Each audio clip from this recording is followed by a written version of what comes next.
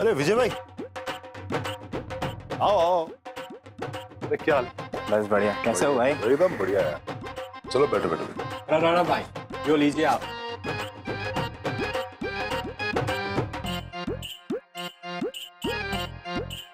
हमने बड़ा नाम सुना है यार आपका पंजा लड़ाने में। लोग ना तारीफ़ करते ना थकते आपकी। हमने सुना है कि आसपास के इलाके में कोई ना है आपकी तरह पंजा लड़ाने में बिल्कुल सही सुना है भाई धन ने पंजा लड़ाना तुम्हारे रग रग में बसा हुआ है। भाई हमारा जो ये हाथ है ना, इसमें इतना ज़ोर है कि तीन तीन आदमी अगर एक साथ भी अपनी ताकत लगा दें तो अपनी जगह से हिले ना। पल भर में सामने वाले की छुट्टी कर देता हूँ मैं। अरे विजय भाई, आपकी तो बात ही निराली से पर मारे लाखा भाई ना, किसी से कम ना से पाँच पाँच मुस्तंडों को एक बातचीत कर देते ही हो। और दो तीन बंदों की तो औकात ना इनके सामने खड़े होने की। कुश्ती ना भाई छोरे हो? कि कुछ भी दांव लगाया और जीत गए? कुश्ती में तो भाई कोई भी फुर्ती दिखा के जीत जावे। पर असली खेल तो यो है पंजा लड़ाना। इसमें देखी जावे भाई। ताकत।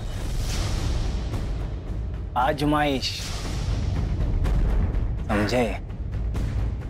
थारे लक्की भाई जो है ना हमारे सामने दो मिनट भी टिक ना पाएँगे भाई। माना कि हमने आपको पंजा लड़ाते कभी ना देखा। लेकिन हमारे लक्की भाई में भी पहलवानों की ताकत से। क्यों? दो मिनट में आपको हरा देंगे। क्यों लकी भाई? अच्छा तो ये बात है। तो अब देखते हैं किसमें कितना है दम। अब होएगा दूध का दूध, पानी का पानी।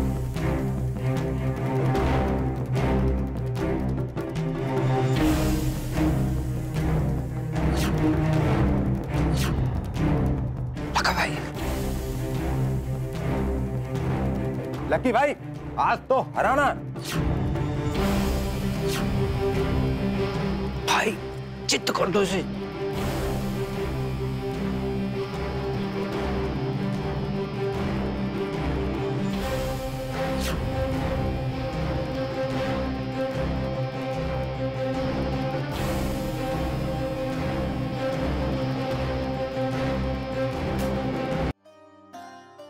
यो सब भूल जा।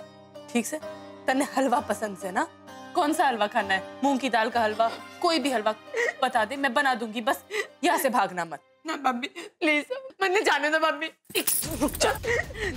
मेरे घर की इज़्ज़त का सवाल है। खिड़की के पास भटकने ना दूँगी कूदने की तो दूर की बात से। बात है मम्मी तुम्हारे पास एक ही रास्ता है। ये जहर पी के हमारी लाश अब इस घर से जाएगी भाभी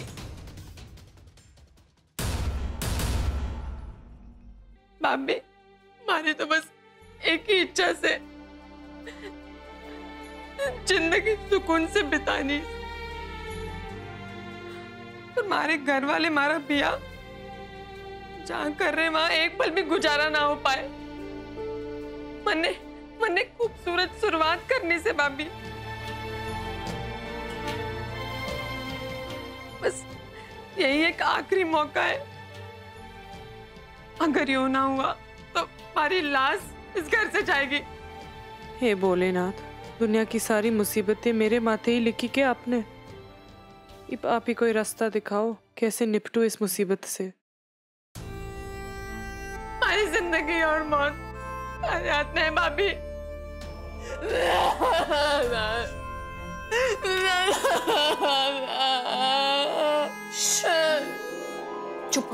चुप हो जा।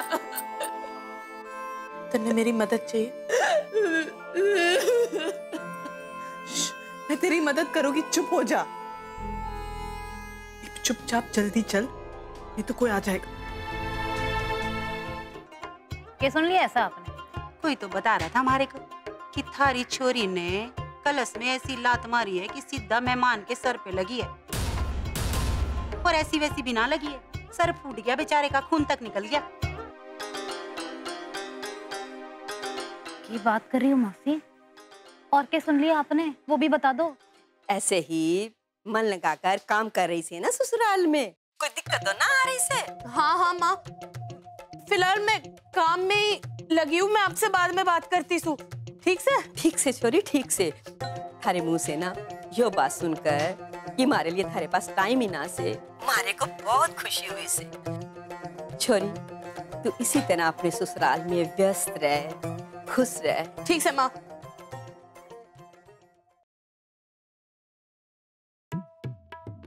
शुक्र है भगवान का मुस्सी कोई बड़ा बवाल ना हुआ नहीं तो हमारी तो सांस ही अटक जाती। इब के कर दिया उसने ससुराल में। भाई मारी तो भगवान से यही प्रार्थना है हाथ जोड़ के। कि थारी छोरी के बबाल के चक्कर में मारी छोरी की ज़िंदगी में कोई बबाल ना मच जा।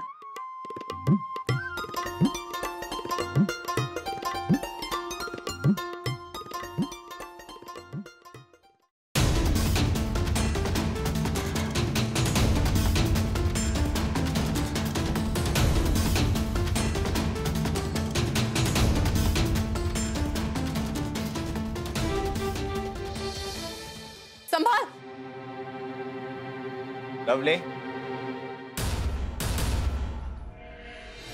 लवली कहाँ से?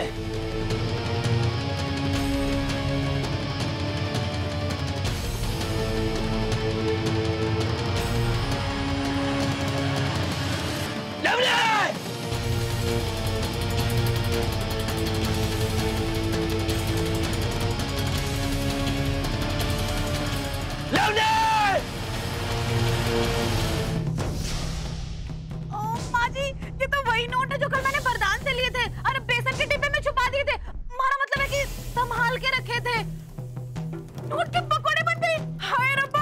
भगवान हे भोलेनाथ यो के करो क्या देख लिया ना? थारे को कितनी बार समझाया कि दूसरे का पैसा आसानी से हजम ना होवे पर तुम परी सुने तब ना। आपने नो टल कैसे दिए माँ जी? कि तू कहा जल्दी शहर पे घूमने ना जा रही अपनी माँ के घर जा रही हूँ। पर तारी वहाँ तो घर पे ना से वो तो मुंबई घूम रही से ना। तो हमेशा ना घूमती रहेगी वो। सबकी किस्मत आपकी तरह ना होवे कि इतनी अच्छी बहू मिल जाए जो सारा घर संभाल ले सारा काम टाइम पे कर ले। हमारी माँ को हमारी ज़रूरत है। मैं जा रही हूँ उनकी मदद करने। हाँ कितना सुनाएगी। जा जल्दी जा। पहली बार तूने ज़िंदगी में अच्छा फैसला लिया से। जा जा जल्दी जा अपनी माँ के पास जा। चल जमुना मैं भी जाती हूँ। तू ही खाइए नोटों के पकौड़े।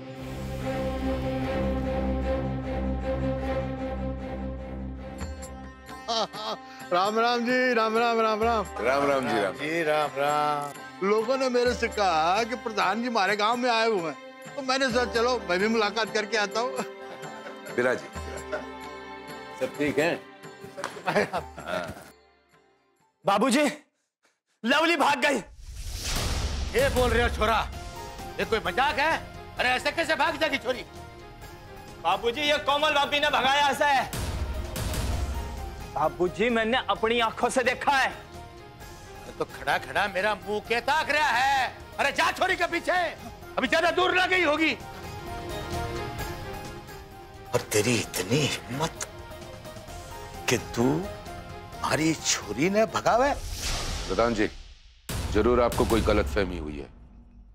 हमारी बेटी हरगी जैसा काम नहीं कर सकती। हमारी बेटी की तरफ़ से मैं हाथ जोड़ के आपसे माफ़ी माँगता हूँ। अब तो न्याय होगा।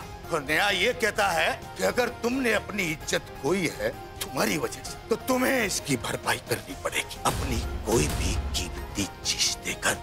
ये छोरा से इस घर की सबसे कीमती चीज़। और ये चुकावेगा हमारी कीमत। ए छोरा जाके तलवार लेकर आ।